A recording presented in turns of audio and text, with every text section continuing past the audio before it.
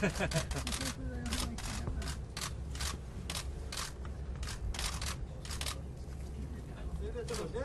they're gonna ride, they're all gonna stand up during this ride? あいやいや、あだってこれ違うんですよ。みんな降り降りるんですね、この人たち。Okay. え、これ取り取りますこの後前方走行中取りますあと撮るのはいいやいやずっとじゃ前方走行中だけあ、前方走行中ね。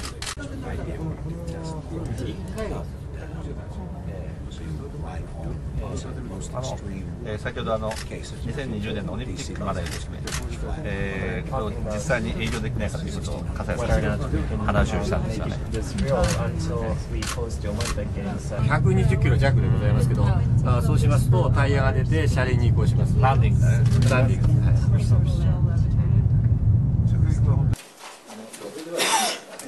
社の記念をいしまして、プレゼントを用してますので、メール会社の方から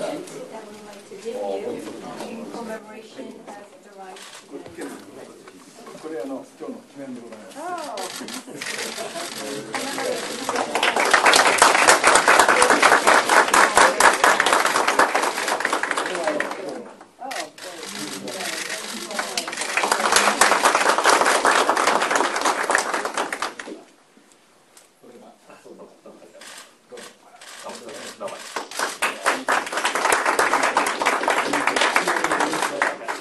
今日のリニアの一つの感想と、またあの今後世界でどのように日本のリニアを展開していく考えかお聞かせください。あのもうずいぶん前にですね私も一度この、えー実験船、えー試乗をいたしましたがあ同じようにあ500キロ、えー時速500キロの体験をしたんですが、えーその時よりもはるかに、えー快適、えーで、えーそして乗り心地が良かったですね。音も静かで色も少なかったです、えー座席等もですね工夫されて、えーいました、えーまたあ車窓からですね、えー一瞬ですがあ富士山も見えましたね。えー最先最先端の技術のこの、えーリニアからですね世界遺産の富士山が見える、えー日本でしか味わえない、えーと本当にそう思ったあところなんですが、まあ、この日本の技術、まあ、これはあの CO2 削減においても大きな、えー効果を上げると、えー思いますがこの日本のこの最先端の技術をですねどんどん世界で、えー活用してもらいたい、まあ、特に、えー同盟国のアメリカでですねえー活用してもらいたいと思っています、まあ、日本でもですねいよいよ東京名古屋間がですねえー視野に入ってきました。40分で東京名古屋を結ぶわけですからもう、えー通勤圏に名古屋がなると東京の通勤圏になるという、まあ、時代があもうじきやってくる中においてですね、えーまあ、同盟国のお米国においても、えーワシントン、えーニューヨーク、まあ、これ1時間で、えーつなげますから、えー米国にとっても、まあ、経済にも大きなあ効果えー CO2 削減においてもですね大きな効果を発揮する、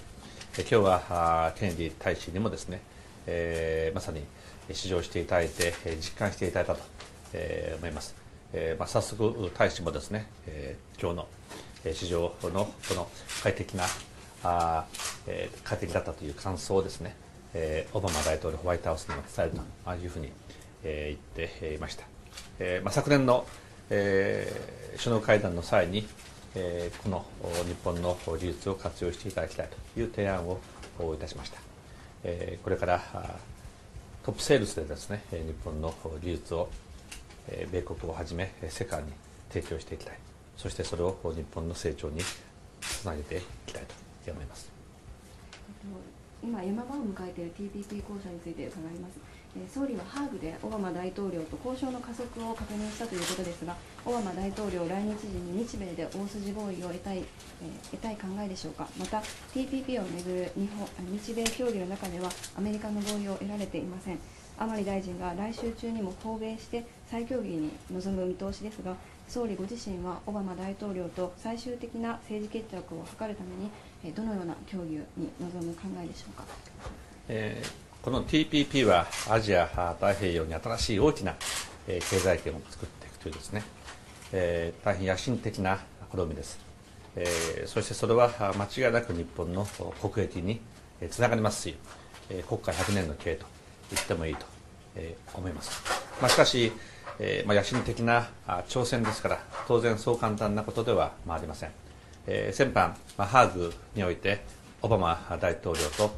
えこの交渉を加速させていくということでですね、えー事務方に指示をするということで一致をいたしました、えーその、えー首脳会談の結果を受けてその下でですねえーフローマン、えー代表が先般甘利え大臣とま交渉をま行いました。いよいよま最終局面に入っていると言ってもいいわけでありますが、まここからが大変難しいというのもま事実だろうとえ思います、えーこの国家100年の計ということをですねしっかりと頭に入れながら、まあ、なんとかいい形で妥結を目指していきたい、えーと考えています。終わります。はい、どうもありがとうございました。